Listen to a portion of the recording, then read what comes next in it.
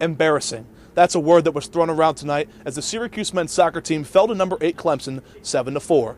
The Orange trailing 5 to 1 in the second half did score some goals to make the game a little bit more respectable, but overall SU says it takes away no positives from tonight's thudding.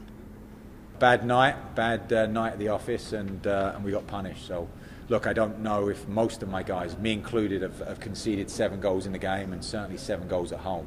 So uh, we were a little bit angry and disappointed and um, and ultimately embarrassed. You can only go in one direction. you can only get better. So I think um, we didn't really give up.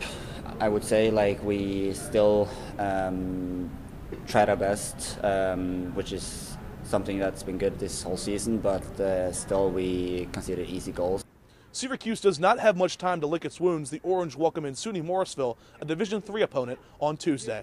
Kickoff is scheduled for 4 p.m. From the very cold SU Soccer Stadium, I'm Nick Kuzma, Citrus TV.